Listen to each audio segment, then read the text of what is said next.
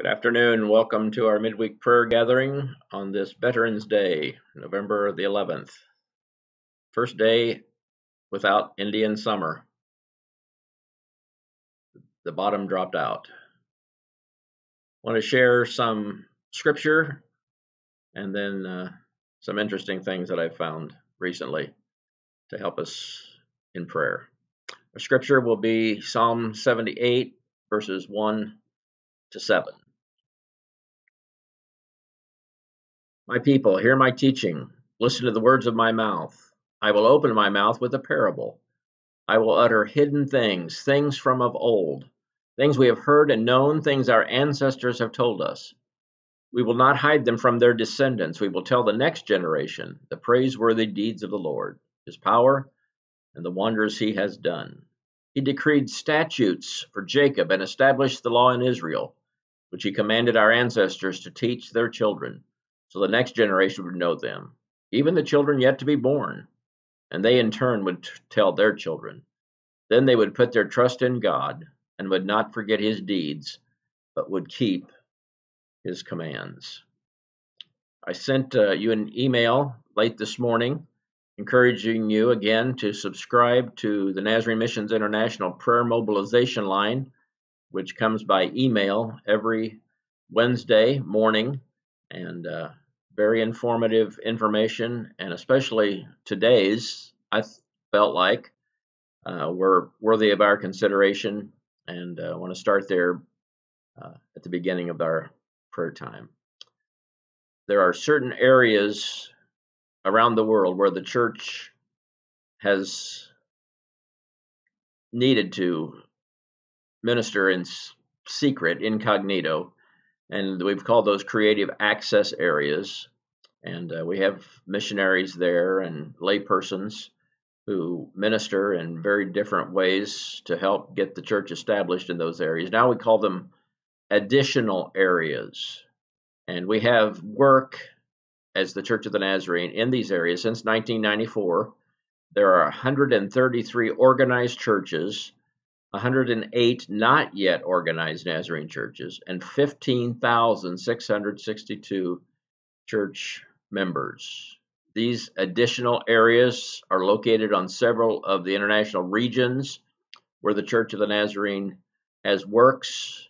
These areas tend to be resistant to the gospel, which means that the op- open proclamation can be restricted requiring creative approaches for ministry and missions. They also may be where the church has been officially registered with the government, but whose political, social, or religious environment may not always be conducive to Christian outreach and church development.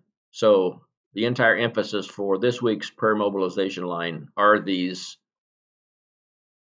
areas, these additional areas, creative access areas.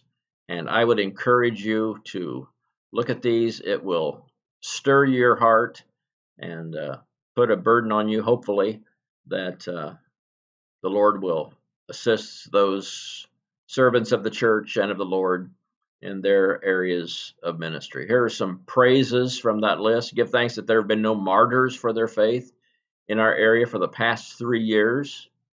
Praise God that the underground church has been growing in the most gospel resistant areas. That's terrific. Give thanks that in our many local house churches, Nazarenes have been actively involved in assisting their neighbors during the COVID 19 pandemic. And we give thanks for pastors, ministry leaders, and believers who are standing in the gap. They need encouragement and an understanding of the times we are living in. Often they are totally alone, but without complaint, they are obeying their calls. And then a number of prayer requests is on the line as well. I want to encourage us this morning during this time of prayer. And I lost what I was going to share, but I'll find it very quickly. And here it is. Did you know that prayer is faster than the fastest plane? You don't need to board a plane or train or take a car or ship to get your prayers to their destination. Of course, God is the one to whom we pray, but by His Holy Spirit, He brings your prayer, however simple or comprehensive, to bear upon the situation for which you pray, or to bring hope, comfort, and encouragement to the one for whom you pray. Just pray. Did you know that anyone can pray at any place, at any time? It need not be rehearsed or written, though there's nothing wrong with writing a prayer. You do not need to be in any particular physical position, but your spiritual posture needs to be right. Humble, obedient, faithful, and sincere. Prayer is a bridge between ourselves and God, and between ourselves and others. Some we know, some we won't, and helps us and others to know that we are not alone in any situation or set of circumstances. Three great reminders today about prayer. Well, this afternoon we want to bring our list of unsaved, unchurched family and friends to the Lord's attention and uh, reminders to us again of the importance of intercessory prayer. So here's our list Natalie, Zane, Denise, Becky, Ed, Joanne, Michelle, Chad, Terry, Aaron, Elizabeth, Brittany, Mark, Paul, Jenna, Abby, Betty, Elise, Amy, Lonnie, Morgan, the Wathans, the Azitas, Kaylee, Sandy, Don, Trisha, Riley, Lynn, Candy, Terry, Cindy, Ben, Jessica, Maggie, Tracy, Paul and family, Patty, Destiny, Carl, Bill, Walter, Jody, Stan, Doug, Shelley, Barry, Joey, Debbie, Kirk, Julie, Amber, Ryan, Scott, Jim, Karen, April, Jill, Mike, Stacy, Andy, Alec, Dawn, Ron, Trich, Daniel, Dustin, Paige, Crystal, JD, Rich, Jared, Matt, Sam, Elizabeth, Janet, Ellen, Pam, Kathy, Lori,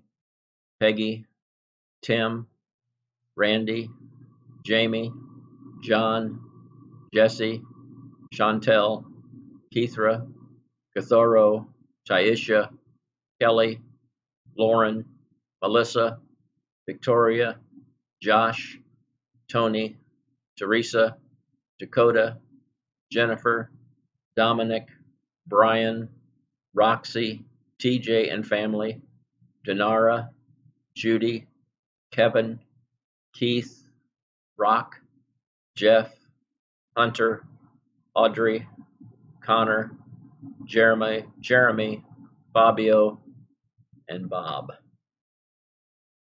We're continuing to pray for the United States of America, for spiritual awakening and revival during this time of confusion and political unrest, asking the Lord to respond to his promise, Second Chronicles 7:14. We're praying for the peace of Jerusalem this afternoon, praying for the Belen, Guatemala City Church of the Nazarene, Pastor Neri and his congregation, for the persecuted church around the world in more than 50 nations. Pastor Alon Santos, the House of Good News Church of the Nazarene in Campinas, Brazil, South America, particularly their compassionate ministries outreach to their community, the COVID 19 pandemic, and all related to that. Let's pray for the safety of our children, of our elderly, of our schools, businesses, church. Let's lift these needs before the Lord this afternoon. Father, we thank you today for the reminder that uh, prayer is just a breath away. That when we have needs, you have invited us to come. And we're grateful, Lord, for that invitation. And we do come to you today. And we want to come boldly to the throne of grace this afternoon. We pray, Lord, for the names and spiritual needs of these who we love and care for very much spouses, children, grandchildren, great grandchildren, nieces, nephews, co workers, neighbors, friends. You know each one, you know where they are at this very moment, Lord, and we're asking your Spirit to go to those places and those hearts and speak to those who need you today. We're praying, Lord, also for the United States, for this time of unrest, especially politically and socially and racially, so many, many ways, Lord. We ask for your healing, your forgiveness, your restoration of this land. Uh, help us, Lord, to turn our attention back to you and not our own selfish concerns or ideas or desires, but help us, Lord, to really focus on you. We pray for our friends in Guatemala City this afternoon, Pastor Neri and his congregation. We pray for Pastor Alon in uh, Campinas and that uh, growing church of the Nazarene. We pray, Lord, for the persecuted church around the world this afternoon, our sisters and brothers that are being tortured and tormented and even killed for their allegiance and loyalty to Jesus. We pray for strength and courage and faith and uh, a powerful testimony for all of our sisters and brothers. We pray for the peace of Jerusalem. Pray for that city and that nation of Israel, for her friends, for her enemies. We pray for the unrest that goes on so often in that part of the world today. We pray for the COVID 19 pandemic. Pray for those that uh, have tested positive. Pray for those that are suffering symptoms of the disease. We pray for our schools, our businesses, our churches, our communities. We need you, Lord. We need you to be our great physician even today. We thank you for the reminder that in difficult places of service, you are building your church. And what good news that is this afternoon. As we commit this Veterans Day to you, Lord, we thank you for those who have served our nation in times of war and in times of peace. And we pray that you will bless our veterans and our servicemen today, wherever they are serving.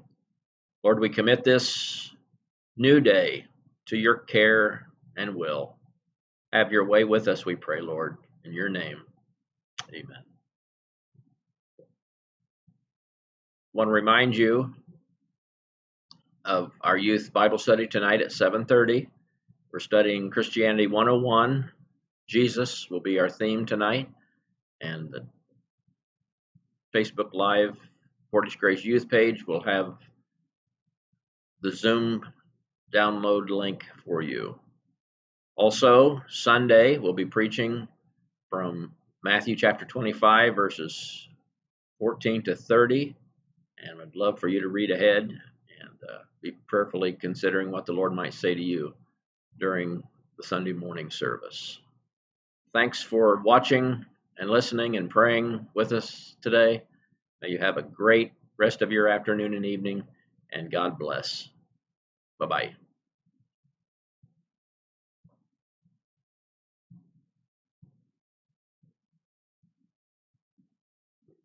Screen went blank.